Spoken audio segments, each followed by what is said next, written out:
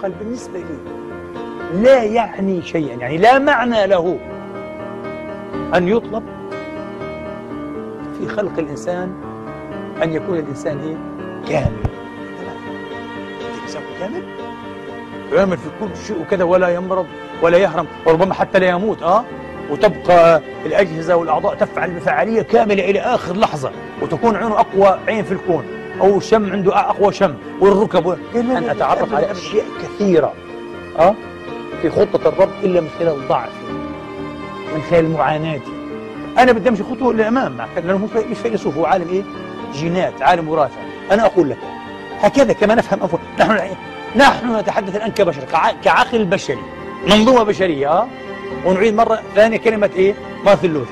اغفر لنا يا رب هذا كل ما عندنا.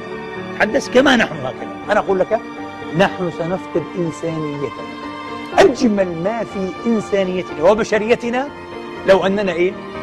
صرنا كاملين لا نمرض لا نموت آه؟ لا نصاب بأي خلل وظيفي بأي تراجع وظيفي بأي كذا آه.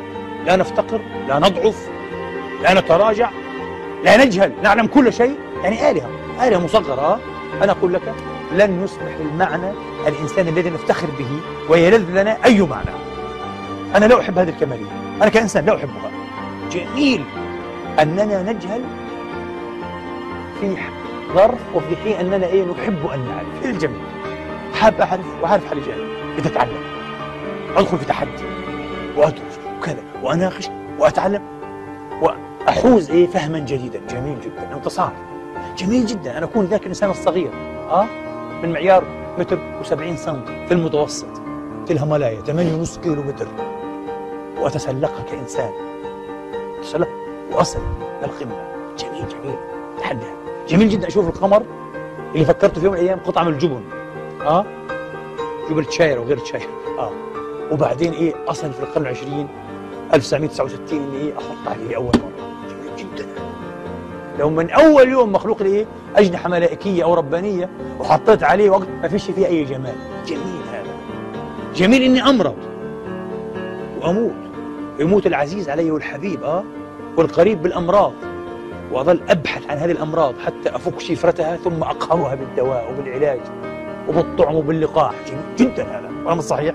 اليوم ما في ما في هيضة ما في حصبة الحين تقريبا ما في كوليرا تقتل الناس ما في طاعون بليغ. انتهى كل هذا. وإن شاء الله حينتهي السرطان. والعسى أن يكون قريبا. والإيدز كله. وتأتيك أمراض أخرى. وتدخل في هذه الملحمة الإنسانية هذه الدراما الإنسانية يا إخواني. جميل أنه ينهار البطل. رغم الصحيح وتحيا القيمة. مظبوط ولا لا؟ يموت البطل آه ويحيا المعنى بعده. هذا أجمل شيء وهذا أجمل شيء لما إيه نلاحظ دراما الإنسان. الأبطال سبحان الله معظم انتصاراتهم في ماذا؟ في مظلوميتهم وموتهم. كموت الحسين وعند المسيحيين في موت عيسى ومصلوبية عيسى وغيره وغيره وغيره أجمل ما فيهم هذا. لأنه يموت الإنسان الفاني وهو سيموت اليوم أو بعد ألف سنة. لكن بموته تألقت إيه القيمة. تألق المعنى مباشرة وبشكل أبدي تقريبا تأبدت القيمة. هذا الجمال. هذا تقريبا إيه ما أردت إيه؟ أنا أذهب بكلمة فرانسيس كولينز إليه وهو أبعد مما قال. أنا مش شايف إنه في أي ضرورة. نحن نكون إيه؟ نطلب أن نكون كائنات كاملة. مش حنقدر نتعرف حتى على ربنا بالطريقة هذه صح طبعا. مش هيتعرف وأنت شوف من بعض أسرار وحكم البلايا والمصائب والهشاشة والضعف البشري أنها إيه؟ تعود بالإنسان إلى الله. تعود بالإنسان إلى إنسانيته. أقبح ما في الإنسان أن يظن أنه كامل perfect وأنه إله. كيف تتحمل الإنسان المستغني؟ هل تستطيع أن تحتمل الإنسان المستغني؟ ما يحتاجش إلى كرمك ولا إلى عطائك ولا إلى مساعدتك ولا إلى ال support أو الدعم المعنوي منك حتى. بكلمة مدح وودود من أنت يعني أنا العالم كله عارفني آه أنا حائز الجوائز وحائز الميداليات وح... من أنت؟ ما بدي. هذا الإنسان أقول لكم لا يطاق لا تطيق زوجته ولا أولاده ولا أقرب الناس هذا انسان محقور آه هذا انسان ليس إنسان مش هذا الإنسان.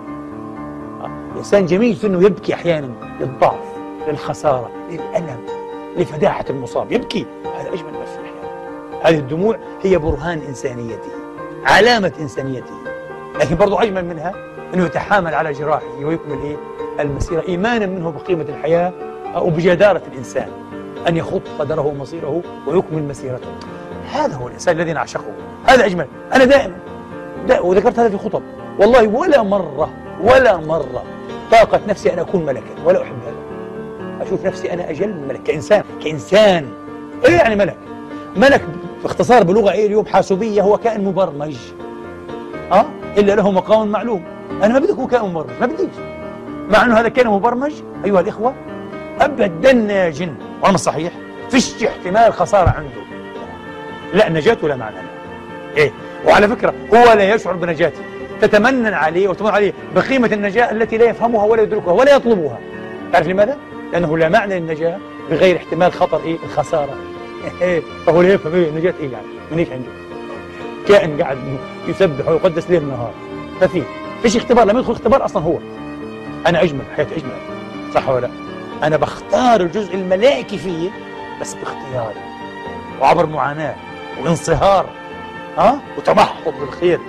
وجهاد نفس هذا الجمال في الإنسان يا أخوان هذا الجمال في الإنسان.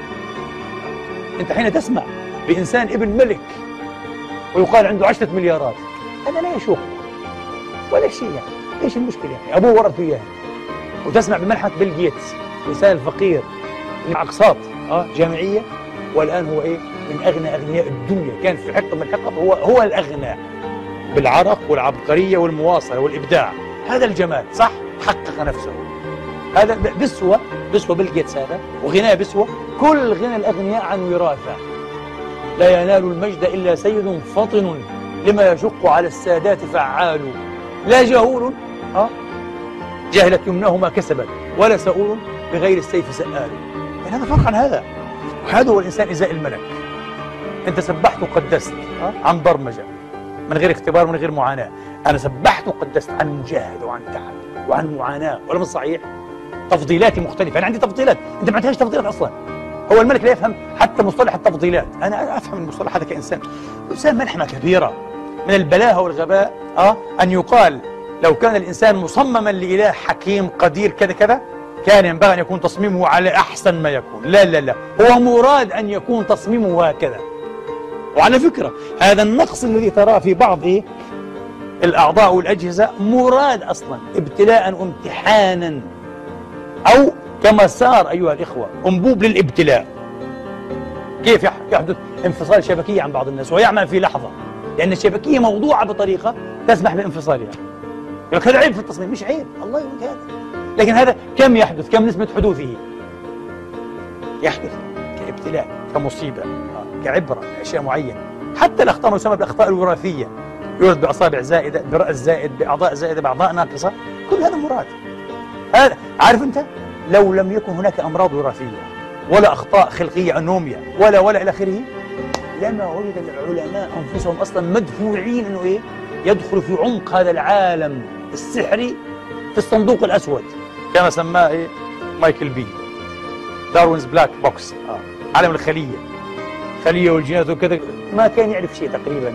شاذ عن أي عن عالم الخلية وأسرارها كروموزوماتها وجيناتها ولا بيعرف. صندوق أسود يجهله دارون تماما. إحنا اليوم اطلعنا على دقائق هذا الصندوق الأسود قدمنا تحديات جديدة إيه؟ للمخربات التطورية. آه؟ الداروينية وغير الداروينية هذا صندوق أسود لماذا العلماء دخلوا في هذا العالم؟ علشان يتغلبوا على إيه؟ على هذه الأدواء على هذه الأمراض على هذه الأخطاء كانوا يسمونها. واضح؟ الله يريد. هذا جزء من الدراما